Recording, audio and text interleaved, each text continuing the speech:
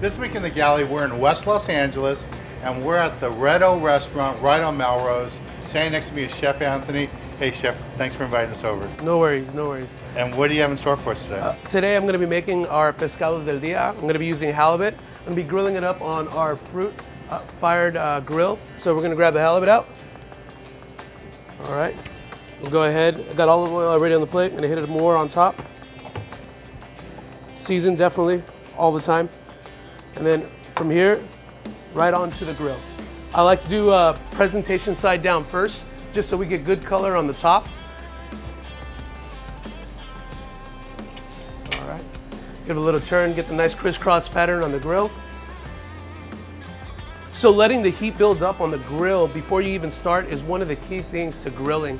I mean, uh, starting off with a cold grill, it's like starting off with a cold pan. You're gonna end up no matter what with uh, pieces of meat sticking, and uh, that's definitely what you wanna avoid, especially with working with such a beautiful piece of fish or a beautiful piece of steak.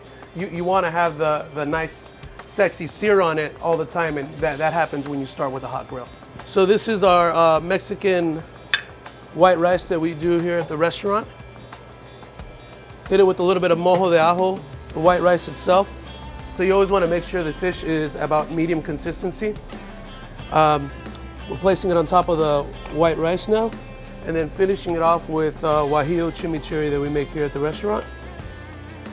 It's uh, chilies that are pureed with arbol chilies, uh, finished with green onions and cilantro, and then finished off with a grilled lime and a cilantro sprig.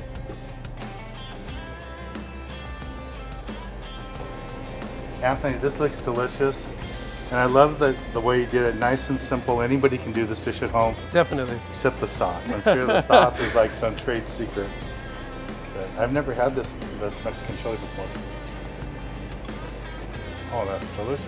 So glad you like it. I mean, also topping it off with the grilled lime adds a little more smoky flavor and definitely adds to the components of the dish. No, and the sauce, I mean, I was expecting it to have a real bite, like a habanero type bite, but it's just a lot no, of flavor. So, so the thing about chilies that a lot of people confuse is that they're always just hot. I mean, once you start working with them and cooking them, the, the sweetness of chilies come out a lot. So, I mean, that's part of the, the, the key uh, of working with chilies is bringing out that sweet flavor as well. That, that's really wonderful.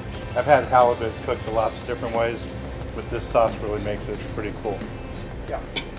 So thanks a lot, Chef Anthony. Thanks for coming down. Remember, we're at the Red O Restaurant, West LA, right on Melrose.